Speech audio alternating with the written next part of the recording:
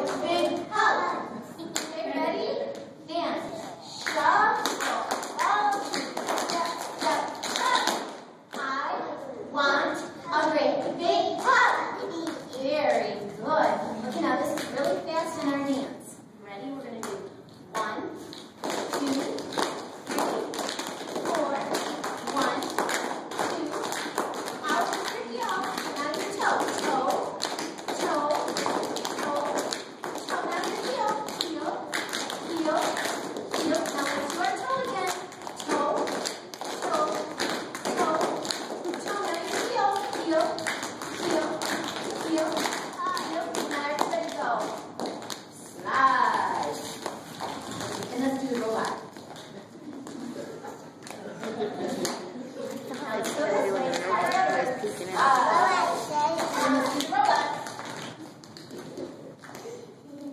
know we could do the robot tap, huh?